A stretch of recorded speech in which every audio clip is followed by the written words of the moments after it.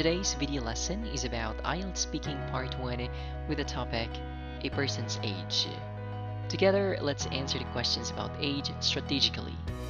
Also, I'd like to help you improve your vocabulary by learning collocations after we finish answering all the questions. Welcome to IELTS Dragon. This is where you get sample answers, ideas, and tips on how to answer different questions asked in the IELTS speaking exam. This is prepared by Band 9 Achiever. Show your support by subscribing to this channel. Thank you so much. Now, let's begin answering the questions. First question Are you happy to be the age you are now? First answer Yes, definitely. Life's a gift to be celebrated. Year after year, I've learned so much in life. Those valuable life lessons have helped me mature. Honestly, I don't care so much about my age. I'm just being happy to continue to exist in this world and to continue to live with purpose. Second answer I must say yes and no. First, I'm glad that I've reached this amazing chapter of my life because I've gotten so many opportunities in life. I obtained my bachelor's degree and secured a better job that helps me live comfortably. However, recently I felt a bit sad knowing that I'm not getting any younger, which simply means I have to deal with more responsibilities in my everyday life, and that sometimes it scares me. Next question How do you feel about getting older? First answer Like I said, I'm not bothered at all. I just want to live my life happily and do something meaningful to others, and more importantly to myself. Not everyone gets to experience a longer life like the golden ager enjoys. Some don't get a chance to reach in their 20s or 30s. So while I'm still alive, I've got to make the most of my existence and not to worry about getting older at all. Second answer. It's funny I've just talked about my feelings of getting older earlier. So let me say it again. I'm kinda sad to get older, but there's nothing I can do about it. Year after year, I turn a bit older, my physical appearance and my perspective on life change. But I consider those things as a blessing, and that way of thinking helps me feel grateful for the life that I have. Next question When do you think is the best age for people to learn driving? First answer Well, learning from my personal experience, I started in my late 20s and I did struggle a lot, especially on learning how to park. I don't know, maybe I couldn't easily absorb what my instructor had taught me. So I believe the younger the better. I just think that when a person starts at a young age, he can learn quickly than those who start late. Another way to answer that question I believe when one turns 16 years old, the earlier the better, or else if one starts later, it'll take so much time for him to learn.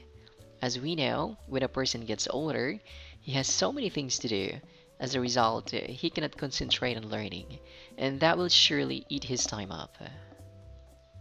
Another question uh, Do you think you have changed uh, as you've got older? Of course, that's pretty normal.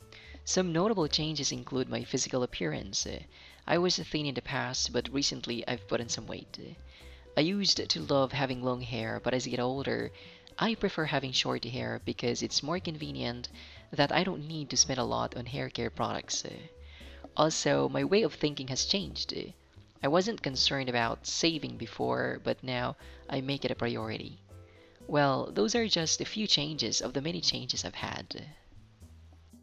Next question Should we treat people of different ages equally? First answer Definitely. We're all humans. We should treat everyone with kindness and respect, regardless of age. We should always remember the golden rule don't do unto others what you don't want done unto you. If we practice that rule, then for sure the world will be a better place. Second answer Realistically, there is a certain difference between the way we treat children and the way we treat the elderly. Since children are innocent, that is not having much knowledge about life, we adults should provide guidance with respect and act as role models to all of them. As for the elderly, we have to show our utmost respect and be more patient and understanding to all of them. Not to mention, we need to listen to their pieces of advice that they generously share with us, as those are precious. As promised, let me share some phrases about age that you can use when composing your answers. First, somebody's own age.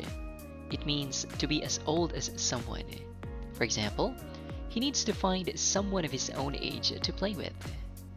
Second, the age of consent. It simply means the age at which someone becomes legally competent. For example, I think the governments should repeal the age of consent law from 16 to 18. Another one, years of age. It simply means refers to someone's age. Example, I was only 18 years of age when I started traveling by myself.